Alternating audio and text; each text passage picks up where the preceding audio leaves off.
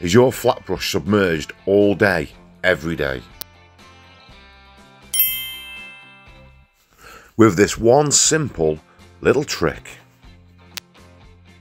your flat brush is going to last five times as long. If you like that, I need you to boop that little like button for me right about now.